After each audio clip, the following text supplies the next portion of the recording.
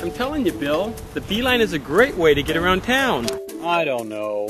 We'll be walking forever just to get to the bus stop. Here we are. Oh. Well, I don't want to have to carry a lot of change with me all the time. Oh. I bet the bus is filthy.